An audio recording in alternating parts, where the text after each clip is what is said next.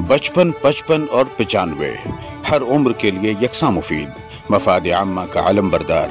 ज़रूर सब्सक्राइब करें, लाइक करें, शेयर करें और बेल आइकन प्रेस करना न भूलें। Rabbani the scholar YouTube channel. नाजरीन इकराम, अस्सलाम वालेकुम Rabbani the scholar YouTube channel पर एक मरतबा फिर आपका इस्तेकबाल किया जाता है। Rabbani the scholar YouTube channel, अल्हम्दुलिल्लाह, अपनी रोज अफजू तरक्की की तरफ़ गामजन है। और हम, हमारे अपने शहर शहर अज़ीज़, माले गाँव की वो मौकर और वो मुआज़ शख्सियात को आपके रूबरू करते हैं, जिन्होंने अपनी पूरी ज़िंदगी में शबीना रोज मेहनत शाका करके आप अपना मकाम बनाए और मकाम भी ऐसा बनाया कि न सिर्फ़ मालेगांव शहर, न सिर्फ़ रियासत महाराष्ट्र, न सिर्फ़ मुल्की सतह पर, बल्कि बैन अवी शहरत के हमिल शख्सियात, अपने कामों से, अपने रोज़मर्रा के मामूलात से इन्होंने वो नाम पैदा किया कि ना सिर्फ़ शहर अज़ीज़ को फख्र महसूस होता है, बल्कि बैरून मुल्क में भी जो है आपके नामों का शोहरा होता है। मेरी मुराद है मरहूम सुल्तान सुबहानी साहब से। मरहूम सुल्तान सुबहानी साहब अपने आप में एक हम जहज शख्सियत के रूप में आपने अपनी ज़िंदगी के शब रोज गुजारे और गुजिश्ता बरस वो हमसे जुदा हो गए। इस दार पानी से वो कूच कर गए। और आज के दिन उनके अपने मकान में मौजूद हैं। उन्हें जो एवार्ड्स तफवेज किए गए, उन्हें जो सिपास नामे दिए गए, वो तमाम सिपास नामे और वो तमाम एवार्ड जो है, इस बात के गम्माज हैं कि सुल्तान सुबहानी साहब अपने आप में एक हम शख्सियत रही आइए उन्हीं के ताल्लुक से हम गुफ्तगु करेंगे मिसेस सुल्तान सुबहानी साहबा से। आज हमारे साथ मौजूद हैं मोहतरमा मिसेस सुल्तान सुबहानी साहबा। मैं Rabbani the scholar YouTube channel पर आपका इस्तेकबाल करता हूँ।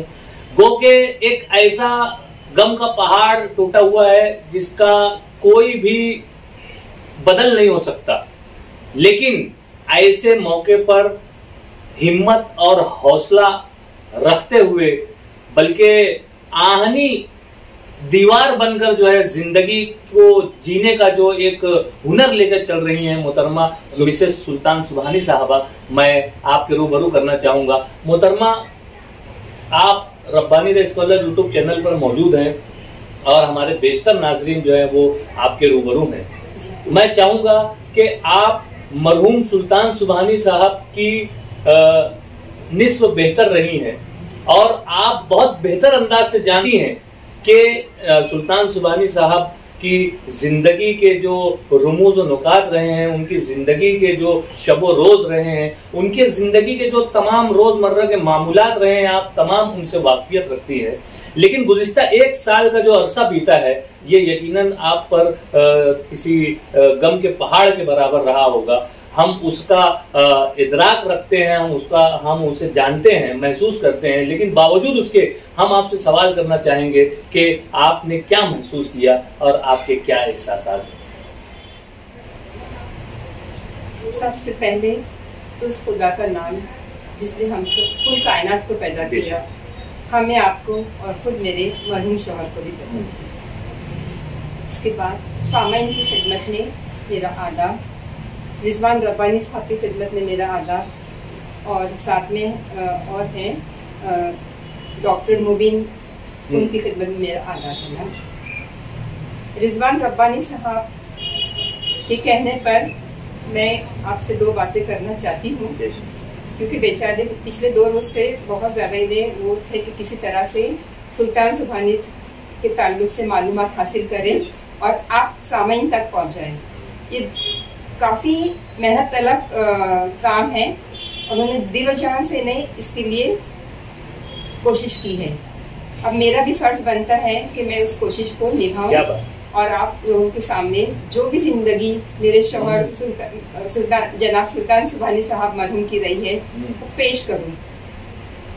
उसके लिए सबसे पहले तो मैं आप लोगों से ये कहूँगी जाने वाले कभी नहीं आते।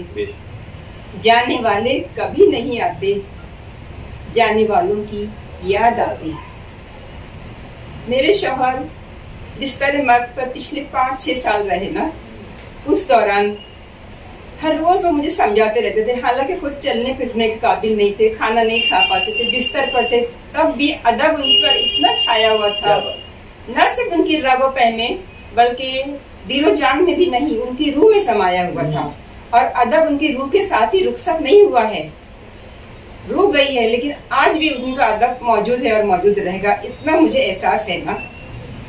अब भी वो ख्वाब में आकर मुझे जो भी थोड़ा बहुत होता है, मेरी ये किताब पब्लिश करना है, मेरा वो करना है, वो कहते ही रहते हैं। मुझे बहुत ये होता है कि इतना अब भी कैसे अदब से जुड़े हुए हैं। इसमें कोई शक नहीं है ना। और मरने से कुछ रोज कब उन्होंने दो शेर मेरे लिए कहे थे जो मैं सामाइन की खिदमत में अर्ज़ कर रही हूँ। और कह रहे थे बयाज दर्द जब खुली तो दिल हंसा मगर। बयाज दर्द जब खुली तो दिल हंसा मगर। गुजिश्ता अहद की हवा बरक पलट गई। मरने से चंद हमें पहले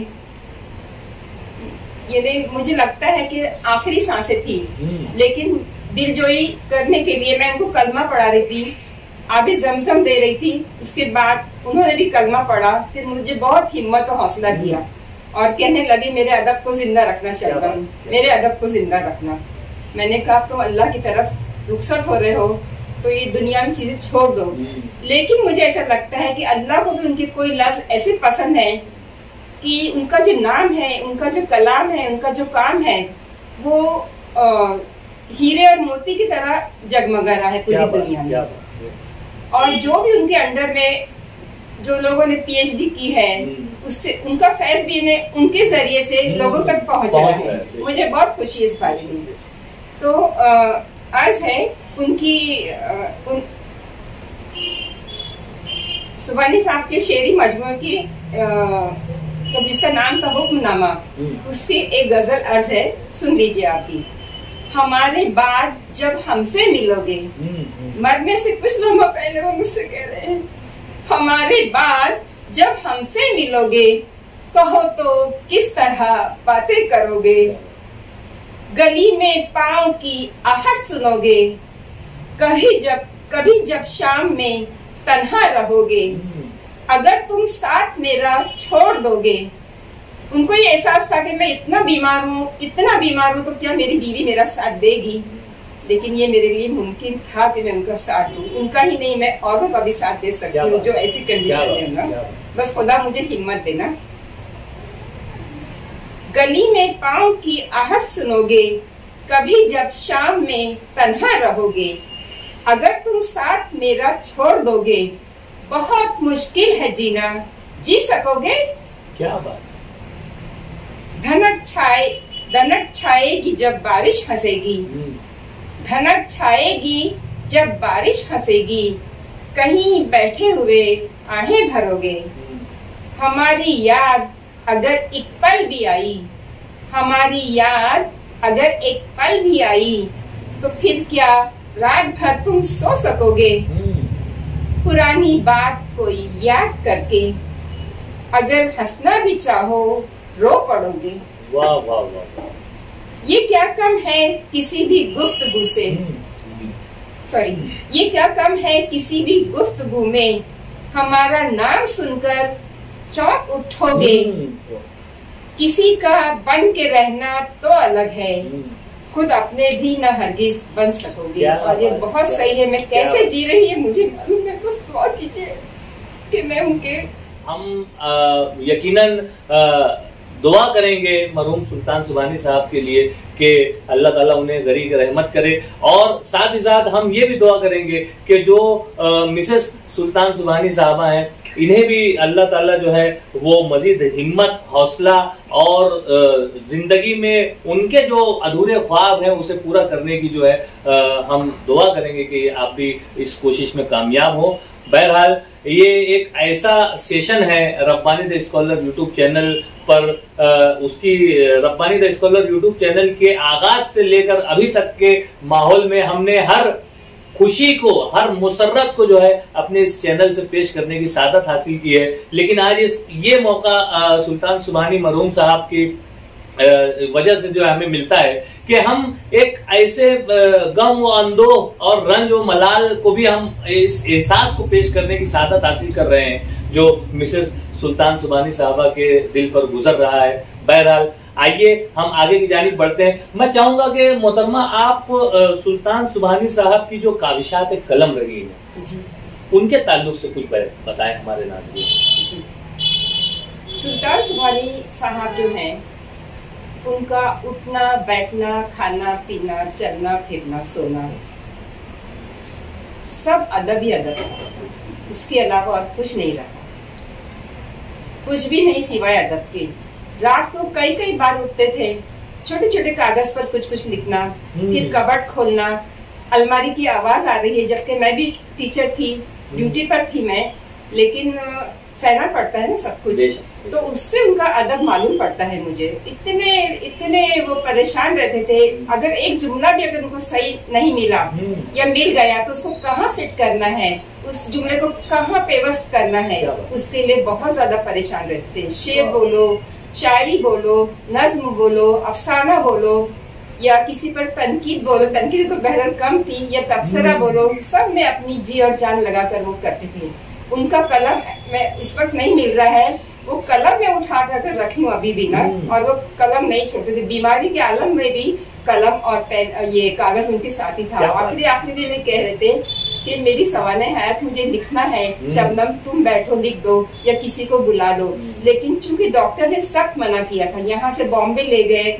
हर तरफ़ तो डॉक्टर ने कहा कि अब इनको दिमागी काम बिल्कुल मत देना। मुमकिन है कि उनकी कोई रक्त फट जाएगा हालाँकि ऐसा कुछ नहीं था। सिर्फ़ अल्सर के ऑपरेशन के बाद इन्हें थोड़ा सा वो बीमार रहे थे और उसके बाद इन्हें मुसलसल बीमार होते चले गए। और उसके बाद में ऐसा है कि अगर इस वक्त भी अगर उनके हाथ में कलम दे देती ना तो वो बैठकर लिखने लग जाते बहुत अजीब माहौल था खाना नहीं खा सकते थे हम्म। खाना खाने का ये मतलब नहीं लेकिन कोई शेर याद आ रहा है हम्म। कोई जुमले याद आ रहे हैं कोई लफ्ज ढूंढना है किसी लफ्ज पर रिसर्च करना है उसके लिए वो परेशान रहते थे और बस स्टडी करना पढ़ना और लिखना। ये दो उनके खून में समाया हुआ था। मैं तो कह रही कि रूह में समाया हुआ था ना। और रूह चली गई लेकिन उनका अदब नहीं मिटा है ना। वो आज भी हमारे साथ है और रहेगा हमेशा गूंजेगा हर तरफ़। मैं नाजरीन कराम आपको बतलाना चाहूँगा कि मरहूम सुल्तान सुबहानी साहब ने आ, अपने कलम की जौलानियाँ जो जिस अंदाज से बिखेरी हैं तो आपके कलम से जो है तकरीबन चौदह किताबें जो है वो मंजर आम पर आ चुकी हैं। और उसके, उसमें आपने हर तरह की जो कोशिश की है, उसमें ज़रूर आपने कामयाबी हासिल की है। जिस तरह से मिसेस सुल्तान सुबानी साहबा ने बतलाया कि आपका ओढ़ना बिछौना जो था वो अदब था। उर्दू जबान से आपकी मोहब्बत अपनाइत उनकी लगन, जुस्तजू, तड़प, सब कुछ जबान व अदब रहा है। आप शायरी भी किया करते थे, आप अफसाना भी लिखा। अफसानों में आपने वो कमाल हासिल किया कि आपका एक अफसाना चाबुक बदस्त इमाम, जिसे बैन अवी शोहरत हासिल हुई और बैन अवी शोहरत पर आपके जो चुस्त जुमले रहे हैं, उसमें जो जिस अंदाज से आपने तीर नश्तर नश्तर के तीर जो चुभोए हैं तो उसे सुनकर और उसे जो पढ़कर जो है, उस पर एक मरतबा ऐसा भी वक्त आया कि उसे पाकिस्तान में जो है पाबंदी का जो है वो झेलना पड़ा कर्ब झेलना पड़ा और पाबंदी हुई और बाकायदा जो भी उसके उसके बाद जो मसाइल हुए, वो अभी हमारे डॉक्टर मोबिन नजीर साहब जो है वो इसे, इस पर गुफ्तगु करेंगे।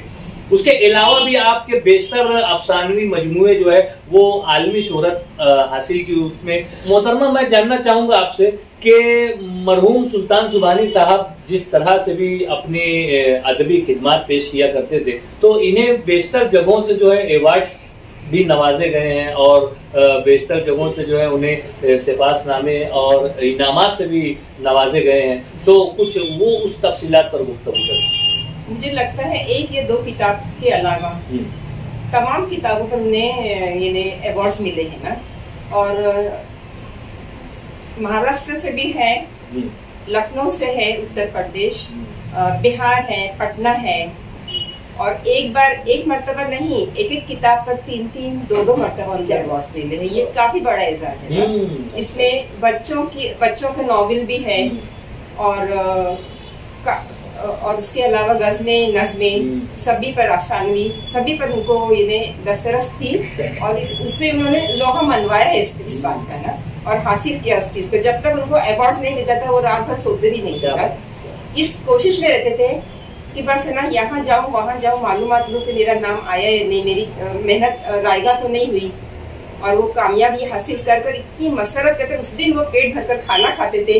दोस्तों की महफिल में बैठते थे और हमसे भी घरों में यानी बच्चों से सबसे एकदम अच्छी तरह रहते थे। जब तक अगर अगर ऐसा नहीं होता था तो काफ़ी यानी जहनी तौर पर वो सोच में रहती थी कि ये ना मेरे राइटिंग में क्या ऐसी कमी थी मेरी तहरीर में या मेरे अदब में हम्म। कि ये चीज़ मंजूर नहीं हो रही। और ऐसा ऐसा लकी उनका इन्हें कलम भी था सोच भी थी राइटिंग भी थी कि वाकई इन्हें वो गवर्नमेंट को भी उसे एक्सेप्ट करना पड़ता था जो भी इन्हें फैसला देते थे। और बाकी फैसला उनके हक में निकलता था फिर खुशी खुशी जाते थे। और हमें भी कहते थे चलना है तो चलो लेकिन मैं ड्यूटी के से नहीं जा पाती थी। पर मुझे भी खुशी है कि हर बार हर हर इनाम उनके नाम का है और काफ़ी खुश होकर आते थे और जो फूल और जो जो भी चीज़ें उनको मिलती थी शॉल वगैरह तो बस लाकर ना मेरे और मेरी दोनों बच्चों के हवाले करते थे उसके बाद खाना वगैरह खाते थे बहुत खुश होते थे। फिर तो समझो कि हफ़्ते भर की उनकी खाने पीने की और दोस्तों की महफिल की इंजॉयमेंट रहता था। यकीनन खुशी व मुसरत का इजहार हम हमारे घर वालों के साथ ही शेयर करते हैं। और दोस्त अहबाब की महफिलों में हम खुशी व मुसरत का इजहार करते हैं। और मरहूम सुल्तान सुबानी साहब का भी यही तर्ज अमल रहा है कि इन्हें जब भी कोई अवार्ड से नवाजा गया कोई अचीवमेंट मिला तो ये ज़रूर अपने घर वालों को उसमें शामिल किया करते थे। ये एक अच्छी बात। मोहतरमा मैं जानना चाहूँगा कि मौजूदा दौर में तलबा जो हैं वो मुताले से काफ़ी दूर है। जबकि सुल्तान सुबानी साहब की ये कोशिश रही है कि वो तलबा के लिए जब लिखा करते थे तो उनकी कहानियों को उन, उनके अफसानों को वो चाहते थे कि ज़्यादा से ज़्यादा तलबा तक पहुँचे। और तलबा उसे पढ़ें और उससे मुस्तफिज हों। तो मौजूदा दौर में जो मुताले की कमी का जो रुझान है इस पर हम किस तरह से रोक लगा सकते हैं? देखिए सबसे पहले तो ये है कि राइटर जो है वो एक जादूगर होता है। इसमें कोई शक नहीं है ना। अगर उसकी राइटिंग अच्छी है उसकी हम्म। उसका लिखना अच्छा है तो ऑटोमेटिकली जो है रुझान बच्चों का हो चाहे बड़ों का हो वहाँ पर वो अटैच करेगा। हम्म, अगर राइट, राइटर में कुछ कमी है तो समझिए कि बच्चे फिर उस चीज़ को या कोई भी उस चीज़ को पसंद नहीं करता जिस तरह की पका हुआ खाना अगर लजीज है तो लोग दौड़ दौड़ कर जाकर हम्म। लाइन लगा कर भी खाएँगे मांग कर भी खाएँगे तो यही हाल राइटिंग का भी मैं ये नहीं कहती हूँ कि हर राइटर अच्छा नहीं है हम्म। लेकिन उसमें ऐसी कशिश पैदा होना चाहिए दिनों जान लगाकर अपना खून लगाकर अपनी रूह लगाकर हम्म। अपनी साँसें लगाकर आप लिखिए बच्चे आज भी जो है वो बराबर इन्हें पढ़ेंगे और खुशी हासिल करेंगे। सुबानी साहब के इंतकाल के बाद भी हम्म, अभी भी इन्हें बच्चे भी और बड़े भी उनकी कहानियों की किताबें उनके ताल्लुक से पूछने आते हैं लेने आते हैं लेकिन मैंने कुछ चीज़ें एकदम मखसूस करके रख दी है। क्या क्योंकि मेरे दिल में यह है कि मैं एक लाइब्रेरी उनके नाम से जारी हम्म। करूँ इंशाल्लाह। और अगर ऐसा हुआ तो बहुत अच्छी बात है। दूसरी बात यह है कि वालदेन को भी जो है ना आज के नए जमाने में हम्म। वो अपने आप को बचाने के लिए बहुत बड़ा कसूर कर रहे हैं वालदेन सबसे बड़ा कसूर तो वालदेन का भी है उसमें हम्म। कि वो बच्चों के हाथ में मोबाइल थमा देते हैं ना ऐसी गलती ना करें बच्चा मोबाइल में कहानी नहीं देखते हुए वो क्या क्या देख रहा है वो अपने हम्म। आप को स्पॉइल कर रहा है और उसके जिम्मेदार वालदेन खुद है ना अगर ठीक है आप दीजिए उसमें ये नहीं कहती कि मत दीजिए जिस तरह आप खेल कूद के लिए भेजते हैं उनको एंटरटेनमेंट के लिए भेजते हैं उनको वर्जिश के लिए भेजते हैं उनको। इसी तरह आप मोबाइल भी दीजिए लेकिन आप उसमें वॉच रखिए कि वो क्या देख रहा है ना। हम्म। और ये नहीं है कि मोबाइल पर भी इन्हें कहानियाँ नहीं आती आती हैं अच्छी अच्छी लेकिन जो जो बात किताब में किताब है में क्या बात वो मोबाइल में नहीं इतना तो इस पे खर्च भी इतना ज़्यादा है और कैसे इतना खर्च हम बर्दाश्त करें? हम्म। जबकि इस्लाम में फजूल खर्ची जो है वो ऑलरेडी एक तरह का गुना है। गुना में शामिल उसका भी हिसाब होगा ना। तो आप जो ये किताब है जो राइटर अपना खून पसीना एक करके लिखता है आप उसे क्यों नहीं तरजीह देते हैं। पहले तो आप पढ़ लेंगे फिर बच्चे के हाथ में जाएगी और हम्म। उसका अदब उसका मुताला उसका जहन कितना फ्रेश होगा। और दूसरी बात ये है कि किताब काफ़ी थोड़ी बड़ी होती है। उसकी तहरीर किताबत वाले अच्छी हम्म। बड़ी बड़ी लिखते हैं। उसमें डार्कनेस होती है। मोबाइल इतना छोटा होता है उसमें कितना आँखों को प्रेशर देना पड़ता है। कितना जहन को उसमें मुलव मुलविस हम्म। करना पड़ता है। तो ये भी तो बीमारी है ना एक तरह की। फिर लाइट कम ज़्यादा है हम्म। उसका खर्च कितना ज़्यादा है? तो ये सब चीज़ों पे वॉच रखने मैं ये नहीं कहती कि मोबाइल बुरा हाँ। है। ठीक है अपनी वक्त और ज़रूरत के हिसाब से। बाकी आप आप लोग ये गलती मत कीजिए। हर घर में जो है वो एक लाइब्रेरी छोटी कायम कीजिए। आप मेरा ये कहना है। अभी देखिए यहाँ पर उर्दू किताब मेला लगा था मैं हर मेले जो किताबों का होता है ये नहीं अगर इंडिया से बाहर हो तो भी मैं अटेंड करती हूँ ना। तो दिल्ली में भी मैंने किया है। अभी यहाँ मालेगांव में भी दो दो मेले मैंने अटेंड की किताबों के ताल्लुक से। तमाम किताबें बहुत बेहतरीन थी ना। और किताबें हम खरीद कर वॉच करके ला सकते हम पढ़ सकते इस तरह बच्चों में बच्चे लाइन लगा लगा कर वहाँ गए। आप भी गए वालदेन भी साथ में। और आप किताबें लाए उसमें तमाम तरह की किताबें आपको मिल मैं ये नहीं कहती हूँ कि सिर्फ़ अफसाना पढ़ो या कहानियाँ पढ़ो।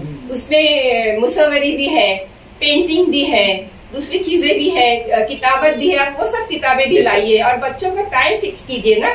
ये वक्त खेलना है ये वक्त खाना है ये वक्त पढ़ाई करना है। ये वक्त दोस्त से मिलना है। हम्म। तो ये सब टाइम टेबल और पढ़ाई का भी अगर आप फिक्स करते हैं किताबें आप अगर उनके हाथ में थमाते तो इसमें कोई शक नहीं है कि बच्चा किताब से दूरी करेगा। और जितना बच्चा किताब में इन्वॉल्व होगा देखिए आप उसके बाहर के जो अदर एक्टिविटीज़ है यानी जो मैं नहीं कहती हूँ कि बेकार एक्टिविटीज़ है हम्म। लेकिन उससे आपका बच्चा महफूज होगा और आप भी यानी सेफ़ रहेंगे इस तरह से। बच्चा अगर सही जगह पर है तो ये आप खुशकिस्मत है ना? और आपके हिसाब किताब भी उस ताल्लुक से बहुत कम है अल्लाह के आगे क्योंकि इन सब चीज़ों का भी कुदरत के निज़ाम में तो हिसाब हो गई होगा आज नहीं तो कल। इसलिए बेहतर है कि आप इस पर वॉच रखिए और हर तरह से इस इस कोशिश में रहिए आप। मैं ये नहीं कहती कि आप पलंदा भर भर की किताबें ले आइए। इतनी मत लाइए थोड़ी थोड़ी लाइए। आप खुद उसे स्टडी कीजिए। और अगर ऐसा भी नहीं है तो आप खुद पढ़ के बच्चे को थोड़ा सा ही नहीं करते जैसे किसी की सालगिरह में भी हम गए हैं तो आप तोहफतन किताब दे सकते हैं। हाँ?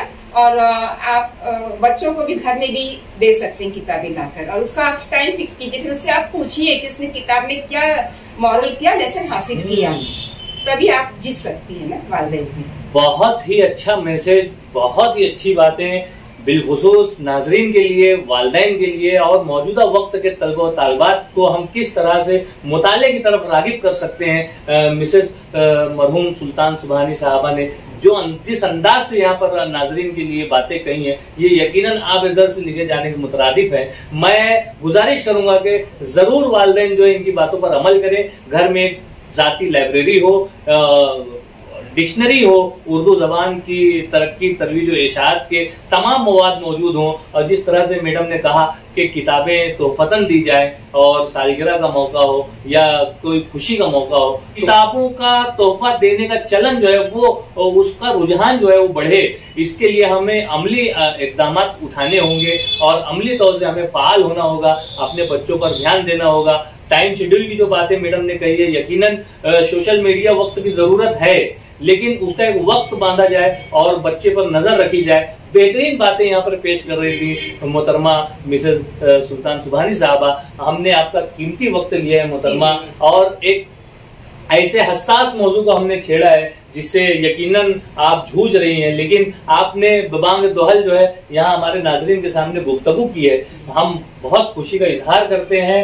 बहुत मुसरत का इजहार करते हैं और आपका बहुत शुक्रिया अदा करते हैं। अमी के दिल से शुक्रिया। खुदा हाफिज।